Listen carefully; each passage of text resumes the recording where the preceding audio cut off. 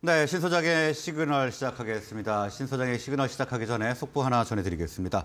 4월 소비자 물가 지수가 발표됐는데 상당히 높게 나타났습니다. 지난 3월에 4.1%였던 소비자 물가 지수는 이번 달에 4월에 4.8%로 0.7%포인트 더 높게 나타났습니다. 이로써 5%에 근접한 아주 높은 물가 지수가 발표가 됐습니다. 자, 그러면 어, 신 소장의 시그널 시작하겠습니다. 벤자민 투자연구소의 신일섭 소장 나오셨습니다. 어서 오십시오. 네, 안녕하세요. 네, 안녕하십니까. 자, 오늘은 자, 롯데 칠성 준비를 해 주셨는데 롯데 칠성 부지 개발이 가시화가 되고 있다고요. 네. 그 드디어 요 몇 년 전부터 일어났다 이게 그 땅이 그 부지가 개발되려면은 거기 이해관계가 얽힌 사람들이 다 합의를 해야 되잖아요. 여기에 너무 많은 것들이 얽혀 있어가지고 그동안 되지가 않았어요. 서초구에서 서초로 지구단위 계획 재정비안을 내놨는데 서초대로 일대에 롯데칠성, 코오롱, 라이온 미싱 부지가 특별 계획 구역으로 지정됐습니다. 여기를 향후에 국제 업무, 상업, 복합 중심지로 개발할 계획을 세웠습니다. 여기 강남역 인근에 롯데칠성 부지가 있는데 여기를 지금 그 커다란 야적장으로 쓰고 있죠. 롯데칠성 그 사이다라던가 뭐 펩시콜라를 왕창 쌓아놓는 비행기 활주로 같은 그런 구간인데 그동안 이 그 요 자산 가치 또 항상 그 어떤 수면 아래 있었는데 개발이 본격적으로 된다고 하니까 조금 더 부각이 되는 것 같습니다. 네.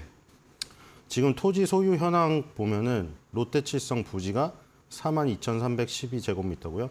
라이온 미싱 부지가 5,363제곱미터고 그리고 삼성 부지 요게 그 5,305제곱미터인데 요게 이 통째로 그냥 직사각형으로 크게 특별계획구역으로 있어서 이 세그 그 기업의 이해관계 혹은 토지 소유주 간의 이견이 있었기 때문에 개발이 오랫동안 지연됐어요. 그래서 이번에 서초구에서 아예 다 따로따로 나눠버렸습니다. 특별 계획을 소유주별로 세분화해 가지고 갈라치기를 했어요. 그래서 그 각자 이해관계에 따라서 그 부분만 개발할 수 있도록 환경을 마련해 주니까 지금 그 개발될 수 있는 여지가 생겼습니다. 현재 롯데칠성 부지는 물류 창고로 이용 중인데 이거를 일반 주거 지역에서 만약에 상업 지역이나 준주거 지역으로 용도 지역을 상향해 준다. 그러면 용적률이 증가하고 규제 완화가 돼서 아까 말한 뭐 그 국제 업무 상업 복합 중심지가 개발될 수가 있겠죠. 그래서 롯데칠성의 이 부지에 대한 개발권 요것도 지금 가시화되고 있어서 롯데칠성의 하나의 모멘텀이다. 이렇게 볼 수가 있겠습니다. 네. 자, 그리고 수제 맥주 OEM으로 맥주 사업의 반전을 노리고 있다. 이건 어떤 내용인가요? 네, 그 곰표 밀맥주가 흥행을 굉장히 해서 CU에서 대박을 터뜨렸다고 했는데 그 읽어보면은 CU는 별로 가져가는 게 없다. 왜냐하면 그 맥주를 세븐 브로이라는 회사가 만들고 세븐 브로이가 다시 OEM을 롯데칠성에게 주는 것이죠. 지금 이게 클라우드가 그 선전을 하긴 했지만 맥주의 비중이 굉장히 작습니다. 왜냐 피츠의 부진이 치명타를 맞았고요. 네. 오비 맥주랑 하이트 진로가 시장의 90% 이상을 점유하고 있기 때문에 여기서 뭐 사실 맞대응으로 피츠를 내놨지만 실패해서 다시 할 용기는 없을 것 같아요. 그래서 롯데칠성이 이제 그 수제 OEM, 수제 OEM 쪽으로 파고 있는 것 같습니다.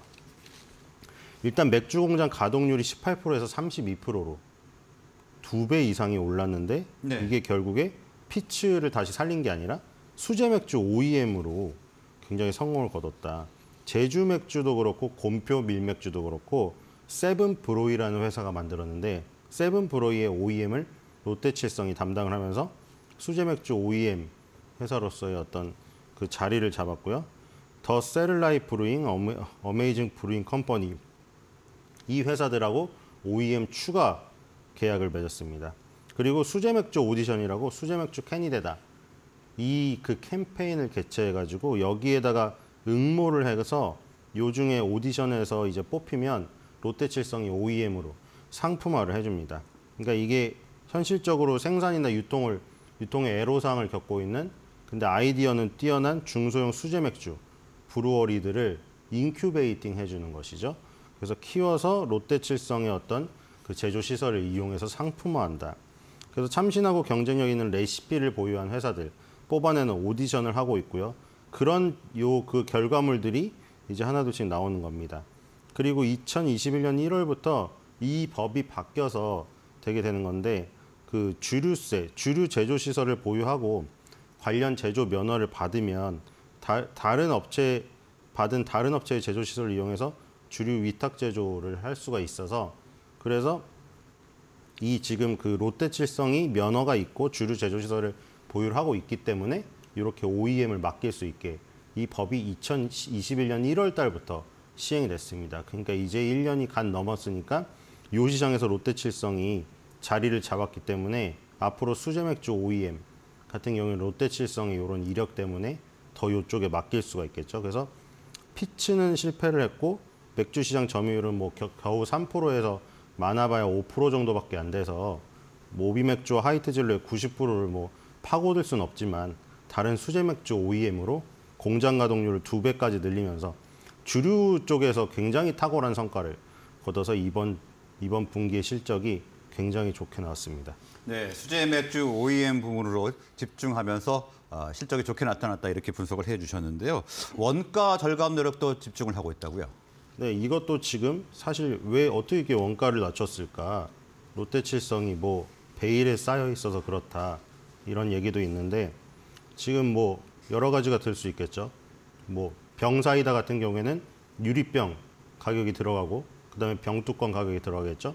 페트병은 플라스틱 그리고 페트병 뚜껑 그리고 거기에 들어가는 인건비 그리고 그 볼이나 메가 같은 맥주의 그 원료라던가 칠성사이다나 뭐 이런 거 펩시콜라는 탄산 이런 것들이 전부 올랐을 텐데 어떻게 원가 경쟁력을 높였을까 봤더니 롯데 알미늄이라는 자회사를 통해서 이 지금 그 원재 원자재를 받고 있었는데 네. 그래서 그 자기 captive market이니까 좀 유리한 면이 있었는데 이거를 아예 땡겨왔습니다. 더 그러니까 롯데 알미늄하고 페트 사업 영업 양수 계약을 체결해서 페트 공병 만드는 그 기계를 롯데 알미늄 공장에 있던 거를 롯데 칠성 공장에 갖다 붙였어요.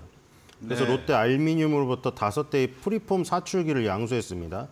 이 제병업계 그 하는 방식이 제병업체가 먼저 사출기로 시험관 같이 생긴 1차 성형품 프리폼을 생산을 해요. 아무것도 없는.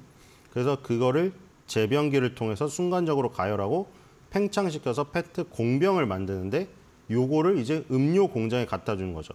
그러니까 이 앞에 부분을 롯데 알미늄에서 해가지고 롯데 칠성 공장으로 가져, 가져가서 롯데 칠성 공장에서 음료를 주입을 했었는데 아예 그냥 롯데 칠성이 안성 공장에다가 이 preform 롯데 알미늄으로부터 사출기를 들여와 가지고 preform을 생산 preform으로 생산해서 제병을 하고 그 병에다가 음료 주입하는 것까지 한 방에 진행할 수 있도록 음료 생산의 내재화 및 수직 계열화를 완성했습니다. 그래서 이 요즘 이 물가가 오르고 물, 물가가 오르는 것은 이제 소비자 물가를 얘기하는 건데 이제 생산자 물가가 오른 것을 거기다 전가를 시킬 때 원가 절감을 하면서 전가를 시켜야 마진이 많이 남잖아요. 그래서 이런 내재화 내재화에다가 아예 공장에 기계를 갖다 붙여가지고 굉장히 절약을 했다. 그리고 2018년부터 추진한 JBB라는 이 그 캠페인이 있습니다. 이게 매년 제로 베이스, 제로 베이스를 점으로 출발해서 예산을 책정하는 거예요. 그래서 예를 들어 전 회계년도의 예산 편성과 전혀 관계없이 제로 베이스에서 전면 재검토 통해서 비용을 효율적으로 집행하는 것을 추진하는 이 그 경영 방식인데 요거의 어떤 하나의 일환으로 자회사 계열사 롯데 알미늄으로부터 지금 프리폼 사출기를 양수했다. 그래서 이런 부분 때문에 영업이익률이 높아지고 그런 부분이 반영이 되어서 실적이 굉장히 좋게 나오, 나오고 시장에서도 지금 굉장히 좋은 반응을 이끌어서 급등이 나온 케이스라고 볼 수가 있겠습니다. 네, 이렇게 원가 절감에 나서서 실적도 좋게 나타나고 시장에서 좋은 반응을 얻었다 이렇게 말씀을 주셨고요. 자, 그러면 실적에 대해서 좀 본격도 좀 알아볼까요? 네. 야외 마스크가 해제가 되었지만 뭐 눈치를 보고 있다고 합니다. 근데 어쨌든 지금 만약에 야외 활동이 조금 자유롭게 되면은 아무래도 한강에 가서 탄산음료도 마시고 뭐 이렇게 친구들이랑 맥주도 마시고 이러겠죠. 뭐 한강에 그 맥주 금지한다는 얘기도 있던데 어쨌든 이런 부분 때문에 위드 코로나 수혜주인 건 맞죠. 근데 또 한편으로는 아까 말한 지금 여기 들어가는 게 뭐 금속 가격도 병뚜껑에 금속이 들어가고 유리병에 유리가 들어가고 페트병에 플라스틱이 들어가니까 그 원재료 가격이 전부 다 올라 버렸잖아요. 플라스틱 원료는 원유에서 나오는 나프타고. 그래서 가격이 전부 상승했기 때문에 이것을 돌파를 못하면 위드 코로나 수혜주인데 원가에 대한 부담 때문에 마진이 안 남는 그런 문제가 있는데 롯데칠성은 아까 그 여러 가지 부분으로 인해서 그 부분을 이겨내는 것 같습니다. 그래서 실적이 굉장히 좋게 나오면서 지금 그 10% 가까이 급등하는 모습이 연출이 되었어요. 예. 근데 그 10% 가까이 급등하는 그 흐름이 굉장히 중요한 부분이었던 게 2017년과 2019년 그리고 2021년의 고점이었던 그 자리를 돌파한 데다가 20만 원이라는 마디지수 때까지 점령했습니다. 그래서 지금 요 세 개의 고점을 뛰어넘는 방법은 갭 상승 아니면 이런 장대 양봉밖에 없었는데 지금 성공했어요. 그래서 2017, 19, 21 요 고점에 물려 있는 이 매물 매물을 단 한 방에 돌파를 해버렸다.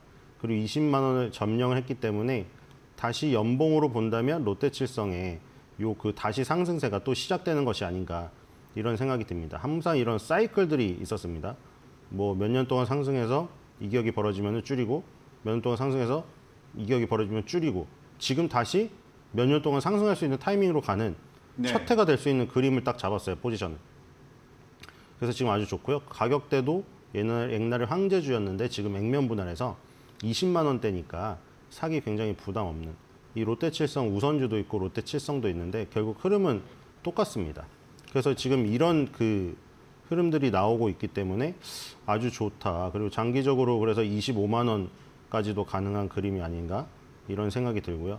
그래서 지금 이번 연도의 그 실적이 롯데 알미늄의 양수기를 도입하면서 아주 좋게 나왔고 영업이익률도 지금 벌써 두 배가 되었죠. 영업이익률이 2019년에 4%였는데 지금 8%로 예상되고 있습니다. 네. 그래서 4년 내 최고 매출액과 영업이익이 지금 예상되는. 그래서 요런 지금 그 원재 원자재 값을 절감을 시킨 다음에 그리고 그거를 소비자 가격에 지금 전가시키는 지금 가격들 보면은 롯데칠성에서 나오는 음료들 지금 탄산음료를 비롯해서 차류, 커피류, 물 그러니까 그 세부 품목으로 말하면은 물은 아이시스고 커피 같은 경우에는 콘트라 베이스나 레스비고 지금 탄산음료 같은 경우에는 펩시콜라나 칠성사이다. 이렇게 되겠죠. 그리고 차 차류는 립톤에서 따와서 지금 팔고 있습니다. 립톤 복숭아 아이스티. 이런 것들. 그리고 아까 수제 맥주는 곰표 밀맥주. 그리고 저기 그 어, 제주 맥주. 이런 것들. 그리고 맥주는 클라우드 생. 이런 거. 그래서 이런 것들이 가격이 전반적으로 다 올랐어요. 그러니까 원가 절감을 해놓고 소비자 가격에 전가를 시켰기 때문에 지금 이렇게 소비자 물가가 굉장히 올라서 부담스러운 특히 편의점을 가보면 롯데칠성의 어떤 전 제품이 가격이 전부 다 올라서 네. 사 먹으려고 똑같은 품목을 샀더니 몇 달 전하고 지금 편의점에서 똑같은 걸 구- 맨날 그 똑같은 거 사 먹으시는 분 많잖아요. 매일 가서 도장 찍듯이 레시피 하나씩 뽑아 먹으시는 분이 많은데 갑자기 가격이 몇 백 원이 올랐습니다. 백 원이 아니라 몇백 원, 수백 원이 올랐어요. 그러니까 상승폭으로 상당한 부분이죠. 그래서 이런 것들이 지금 위드 코로나에 맞게 지금 소비자 가격에 전가를 시킨 부분 이런 부분이 아주 좋아 보입니다. 그래서 이 그 우리가 어, 너무 갔더니 천지개벽했다 이런 얘기를 하는데 롯데칠성 같은 경우에는 지금 인플레이션 혹은 만약에 굉장히 심한 스태그플레이션이 온다. 그러면 물가 헤지용으로 살 수 있는 주식이라고 생각이 됩니다. 네, 일단 롯데칠성 같은 경우에는 원자재 가격 인상분을 소비자 가격에 전가하는 데 성공을 해서 지금 실적이 좋게 나타났다 이렇게 말씀을 해주셨고요. 어, 그래프상으로도 상승세로 가기 위한 포지셔닝을 하고 있다 이렇게 말씀 주셨는데 그럼 저희도 가격 전략 한번 볼까요? 네. 지금 일단 세계의 고점을 돌파를 시켰기 때문에 만약에 여기서 20만 원, 20만 원이라는 마디 지수대를 네. 다지는 작업이 벌어져서 뭐 19만 원, 뭐 19만 5천 원 이렇게 왔다 갔다 하더라도 요 세 개의 고점 밑으로 완전히 꺼지는 모습만 안 보이면은 거기서 같이 동참을 하셔서 20만 원이 완전 다져질 때까지 같이 적립으로 적립식으로 사시는 거죠. 네. 20만 원을 한 번 간 다음에 바로 여기서 다이렉트로 날라가 버리면 사실 기회가 없는 건데 기회를 만약에 준다면은 19만 원, 20만 원 막 들락날락 할 때 같이 여기서 매수를 하셔가지고 25만 원 정도까지 바라보는 전략이 좋을 것 같습니다. 네, 20만 원 선에서 어, 매수를 좀 하셔서 25만 원까지 바라보는 전략을 한번 취해보자 이렇게 말씀을 주셨습니다. 자, 오늘 말씀은 여기서 마무리하겠습니다. 고맙습니다. 네.